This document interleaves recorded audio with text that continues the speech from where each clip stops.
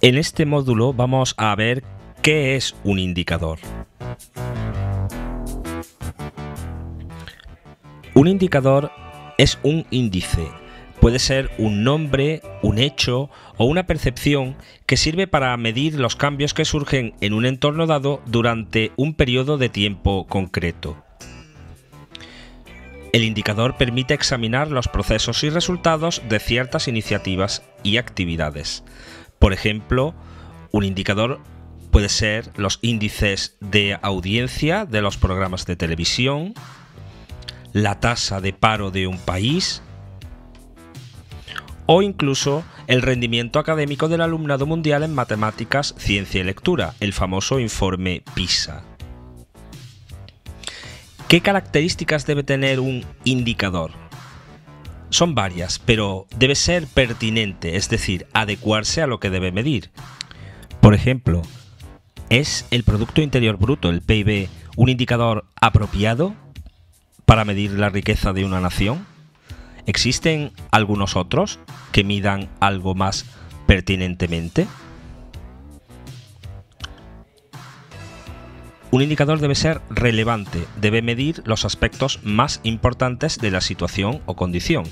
Por ejemplo, si queremos medir el impacto de nuestro proyecto en el aumento del grado de conocimiento de unas personas, ¿qué sería más relevante? ¿Medir el número de horas o el aumento del grado? Otro ejemplo, en la participación política de unas de las mujeres, optaríamos por el número de candidaturas o por el número de decisiones legislativas que impulsen la igualdad de género. El indicador debe estar contextualizado respondiendo a la zona o a la población a la que se refiera. Otras características de los indicadores es que estos deben ser fáciles de interpretar, deben estar construidos por todas las personas relacionadas con la actuación y esa construcción y recolección debe adecuarse al tiempo y el dinero disponible. También deben tener interconexión entre los indicadores para medir íntegramente el proceso, ser comparables de un año a otro y combinar aspectos cuantitativos y cualitativos. Tipos de indicadores. Según los datos usados podemos dividirlos en indicadores cuantitativos, que son aquellos que usan variables cuantitativas, es decir, las que los valores se pueden ordenar de mayor a menor y pueden expresarse numéricamente, como por ejemplo el peso, la temperatura o el número de documentos producidos. Tienen que ver con objetivos y resultados fáciles de cuantificar como el ejemplo que aparece en pantalla. Durante un periodo de 5 años, aumentar en un 50% la tasa bruta de matrícula en la escuela primaria de la región del proyecto, procurando mantener igualdad de género, social e igualdad económica. El indicador es un indicador cuantitativo. Indicadores cualitativos. Los indicadores cualitativos complementarios de los cuantitativos son aquellos basados en encuestas o entrevistas, así como en informaciones no estructuradas u otros métodos de investigación en los que la extrapolación estadística es más difícil de realizar. Suelen suministrar información sobre aspectos no contemplados en los indicadores cuantitativos y por eso su uso es complementario y suelen tener que ver con objetivos y resultados relacionados con procesos sociales cuya cuantificación es más difícil. Por ejemplo, el que aparece en la pantalla.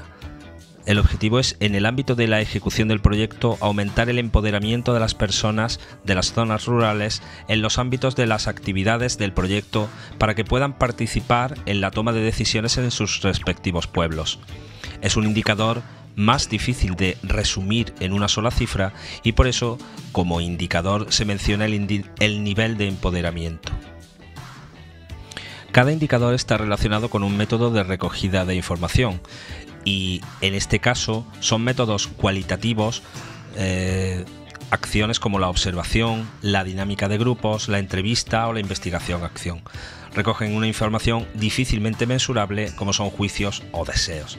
Por su, por su, parte, los métodos cuantitativos como encuestas están basados en muestras obtenidas por métodos estadísticos y su característica es la fácil extrapolación de información. Tipos de indicadores según el ámbito. En la pantalla aparece una imagen que resume todos los momentos que podríamos eh, tener en cuenta a la hora de crear indicadores. No nos vamos a detener en, este pequeña, en esta pequeña presentación, en ese cuadro, pero sí señalaremos los siguientes. El indicador de entrada, que se refiere a los recursos asignados al proyecto, y los indicadores de proceso, que miden las actividades durante el proceso. También están los indicadores de resultados, que quizás son los más usados aunque no debemos olvidar de los indicadores de impacto que están relacionados con el resultado a largo plazo del proyecto y que miden el impacto social esperado. Como hemos dicho, los indicadores de resultados, los más usados normalmente, permiten definir, calcular y evaluar los cambios cualitativos y cuantitativos en el logro del objetivo a medio plazo sirven para mm, verificar la consecución del plan o del proyecto. Y los indicadores de impacto están directamente relacionados con el resultado a largo plazo del proyecto, midiendo lo que se espera conseguir, el cambio social que se espera conseguir más allá de la terminación de este proyecto.